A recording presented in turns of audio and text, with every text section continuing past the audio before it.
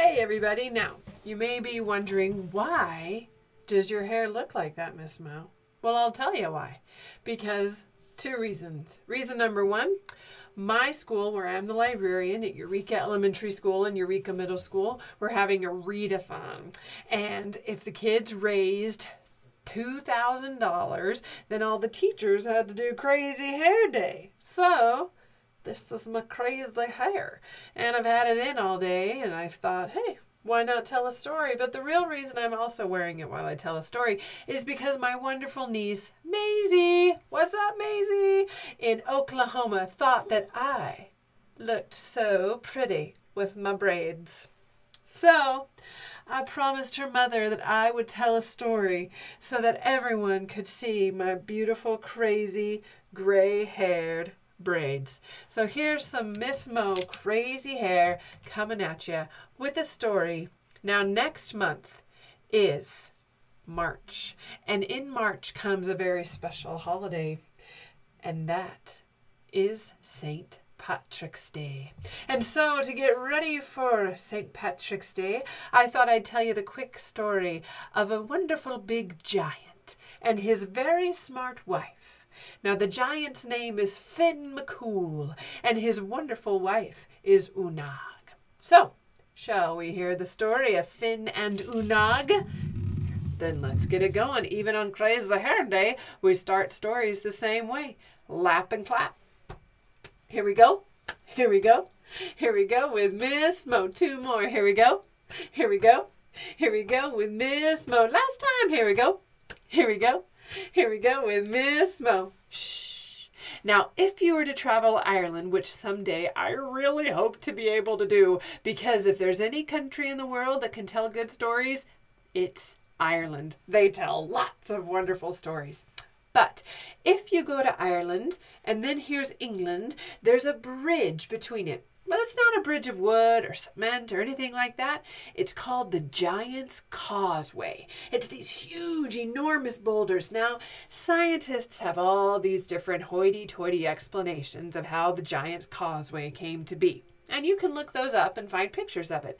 But I tend to like this version, which is those rocks were put there by a certain man, a very large man by the name of Finn McCool.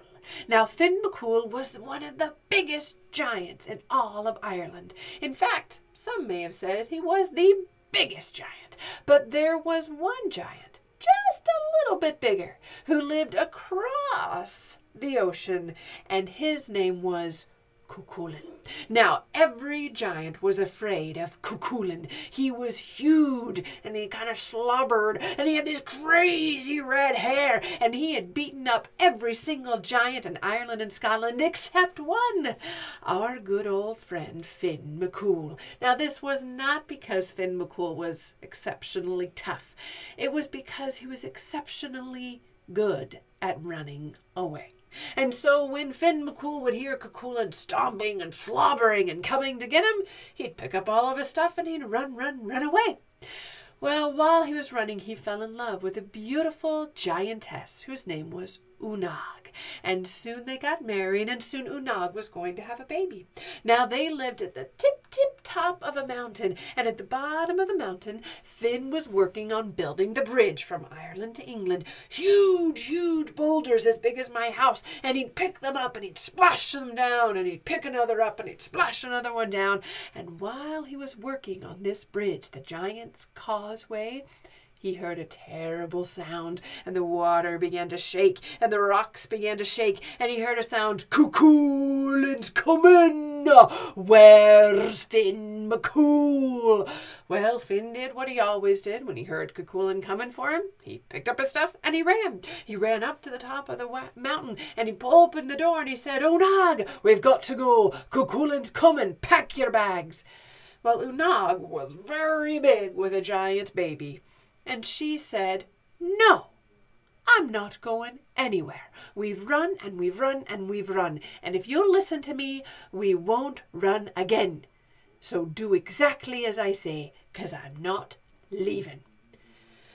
Well, Finn McCool could tell when he was beat, and so he asked his wife what he should do. And she gave him some very specific directions. First, she said.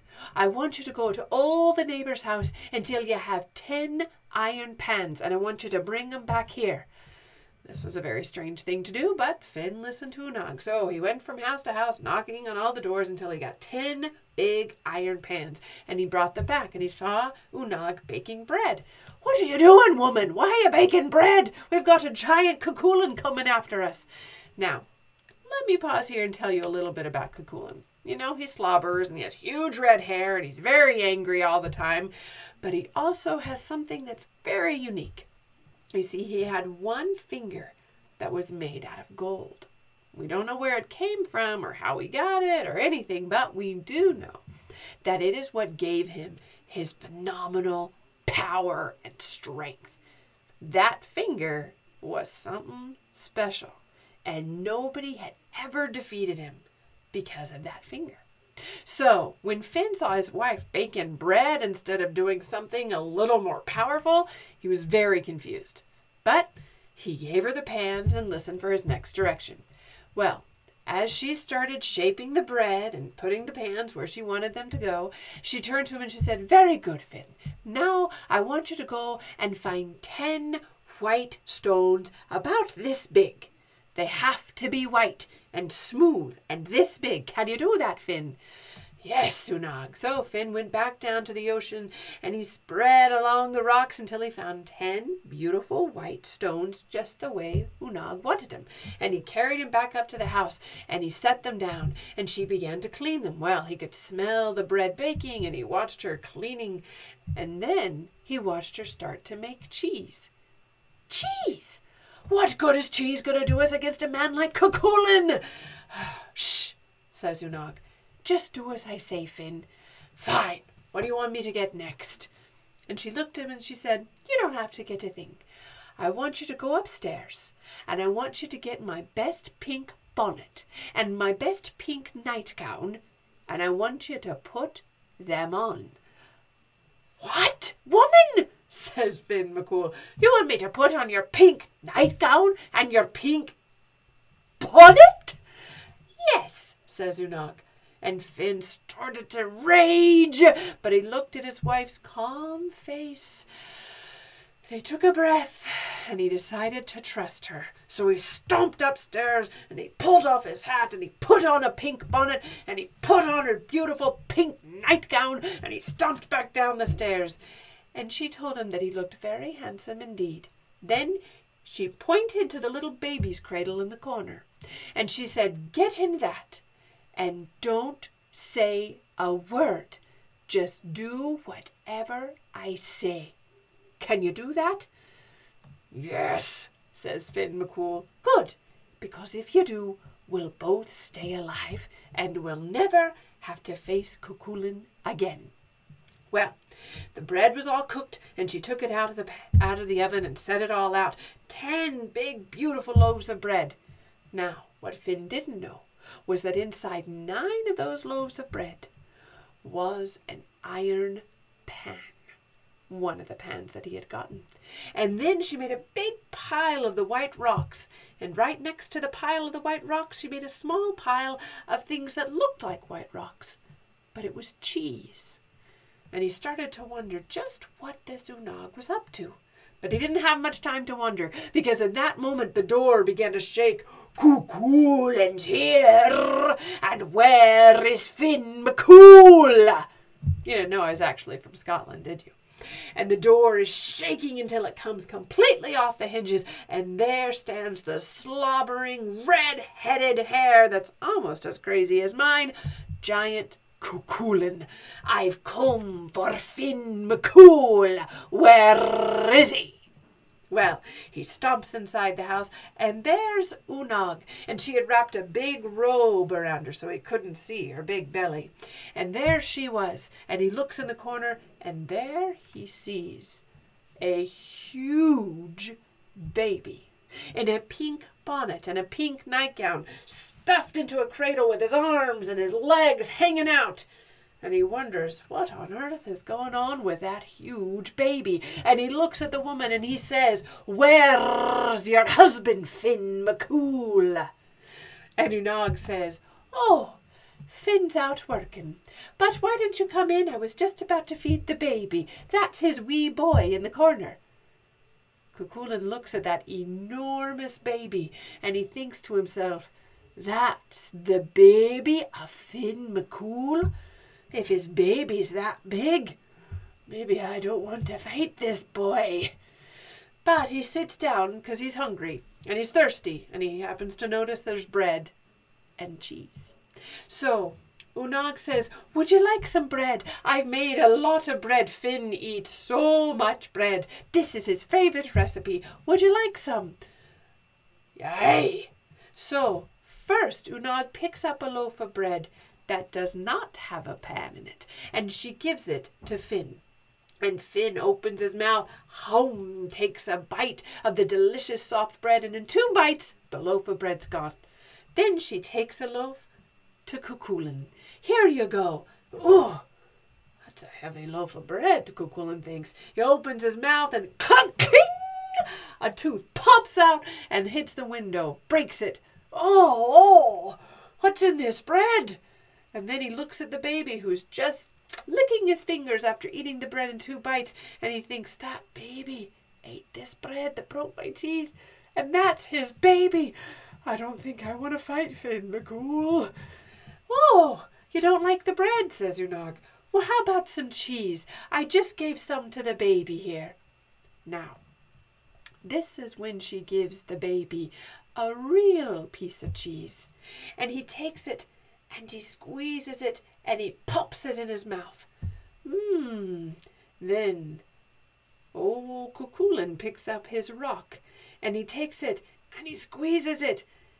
But nothing comes out and he pops it in his mouth and cling, there goes another tooth. And he thinks to himself, that baby ate this cheese? I can't even swallow it. I don't want to fight this baby's father. Oh, and he starts to stand up and think maybe he'll wait and fight another day. Well, then his wife says, You aren't leaving, are you? You know, my husband's running a little late, and I was wondering if you could do me a favour. You see, my husband knows that I love to watch the sunrise and the sunset, but we only have one window in our house. And so in the morning, my window faces east, so I can watch the sunrise. But every night, right around now, right at dinner time, he goes outside, he picks up the house, he turns it around so that the window's facing west, and then I can watch the sun go down. But since he's not here, could you do it for me, please? Cucullin thinks to himself, this man picks up his house every day, twice a day, so his wife can see the sunrise and the sunset, and his baby eats cheese, and his baby eats bread like this has broken my teeth. What have I done? But he couldn't let himself look weak in front of his wife, Oonagh, in front of it. Finn McCool's wife, of course. And so Cucullin goes out and he lifts and he strains and he pushes and he pulls and he sweats and his veins are popping and he's drooling even more and his hair's starting to fall out. And finally he gets the house up and he turns into ugh, and he gets it back down. And now Oonagh has a beautiful view of the sunset as the sun dips below. And the man comes in and he's sweating and he's drooling and his hair's coming out in clumps. And he looks at the baby and the baby is rocking back and forth, happy. Finn McCool is so grateful to be married to such a smart woman. And then Oonagh says, Well, before you go, would you like to say goodbye to Finn's baby? Would you like to meet him? Oh, I'd like to meet such a special lad as this, so he goes over and he looks at the baby and he says, This is the biggest baby I've ever seen. How did he eat those things? What's he got there in that mouth of his? And then he takes his golden finger and he pokes it towards the baby's mouth. And Finn McCool opens his mouth. Ah, ah. And Cucullin laughs and he says, Oh, look at that big mouth. And he sticks his finger down and Cucullin screams as Finn McCool chomps down and bites off his golden finger. Ah! Cucullin screams, Oh! Oh, if that's the baby, I want nothing to do with the father. Tell Finn McCool he'll never see the face of Cucullin again. Ah! And with that, our slobbering, red-headed Scottish giants runs out of their door, down the mountain, leaps across the stones of the giant causeway that Finn had just built, and disappears in Scotland. And Oonagh and Finn and their bouncing baby boy, who came just a few months later, never had to leave their house again. And every time Oonagh from that day on said to Finn, I've got an idea, Finn was smart enough to listen. Miss Mo, Miss Mo, Miss Mo has got to go. Two more, Miss Mo, Miss Mo, Miss Mo has got to go. Last time, Miss Mo, Miss Mo, Miss Mo has got to go. Bye. Hope you liked that little Irish tale, and I hope you liked my crazy hair. Have a wonderful day, and if you like this video, then tell me below, like it, share it, subscribe to it, and there'll be many more Miss Mo episodes to come. Have a great day. Bye, everybody.